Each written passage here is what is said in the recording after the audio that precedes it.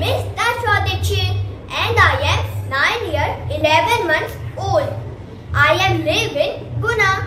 My school name is Christ Senior Secondary School. Let's continue the story. Johnny tried to push the donkey but the donkey doesn't want to go with him. Then Johnny had an idea. Johnny quickly bought a carrot it in front of Donkey. Donkey saw it. Donkey felt hungry because the carrot was looking very, very tasty. As soon Donkey got to the carrot, but carrot ran away from him. Then what? Donkey ran behind the carrot running, running, running, running, running.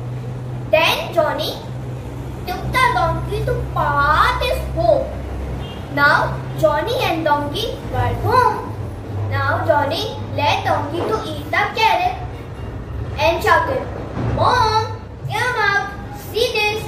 Johnny's mom came out and had surprise because and there is a prize and listen the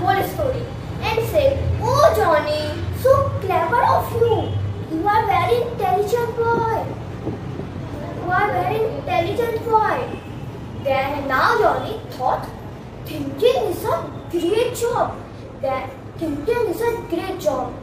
Now every morning, Johnny and uh, active Johnny and his donkey go to the market and brought vegetables and sell in the village. Now, no one was lazy, not even the donkey.